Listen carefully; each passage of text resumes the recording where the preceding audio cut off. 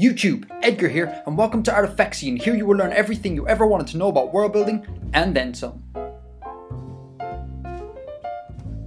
So, what exactly is a spiral galaxy? To answer that, let's look at one particular spiral galaxy, the Milky Way. Our Milky Way is thought to be a barred spiral galaxy, measuring 100,000 light years across and containing roughly 200 to 400 billion stars. It is about 13.2 million years old, making it almost as old as the universe itself. Spiral galaxies also vary in size, with the largest NGC 6872 being roughly 5 times as large as the Milky Way. A typical spiral galaxy consists of a central supermassive black hole, surrounded by a central bulge region encasing the black hole, and the flat rotating disk of stars and interstellar matter orbiting around that central region. The spiral arms that give these galaxies their names form in this disk. The bulge itself is a region of densely packed stars extending above and below the galactic disk. The larger the bulge, the more yellow it appears, indicating that very old stars make their home here. The only difference between barred and unbarred spiral galaxies is that in barred galaxies, the central region is elongated forming a very distinctive linear structure. Other than that, both types of galaxies are almost identical. A near spherical halo of stars encases most spiral galaxies, and objects resembling spherical collections of stars live in this halo. These collections are known as globular clusters, and they tend to orbit around the galactic core. Encasing the halo of stars is yet another halo that extends huge distances into the cosmos. This halo is comprised solely of dark matter. It is estimated that 95% of the mass of a galaxy is made up of dark matter. Or put another way, when we look at a galaxy, we are only seeing 5% of its total structure. Galaxies are much bigger than is immediately apparent.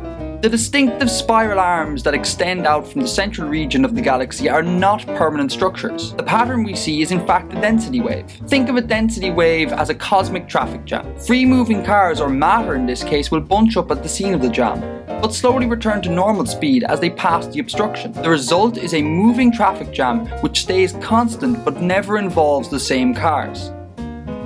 As this wave rotates around the galaxy, it interacts with the interstellar medium and triggers star formation, resulting in the creation of nebulae and hot, young OB stars. It is these OB stars that give the spiral arms their bluish colour.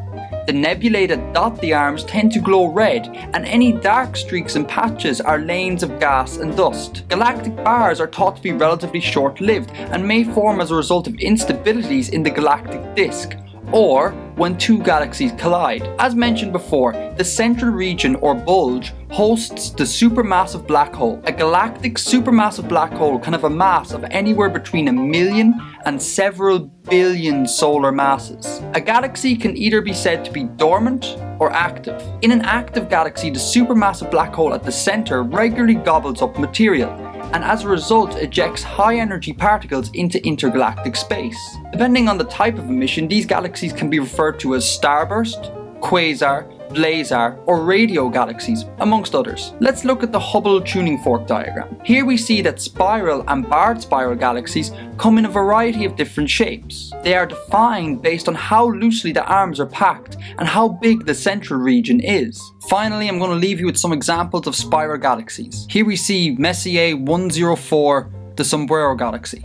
This is the Whirlpool Galaxy, or Messier 51. Next up is the Pinwheel Galaxy, or Messier 101. And lastly, our nearest neighbour, Andromeda, or M31. Guys, if you like what you see, you can find me on Facebook, follow me on Twitter, and more importantly, like and subscribe here on YouTube. Thank you so much for watching. I'll see you next time. Edgar out.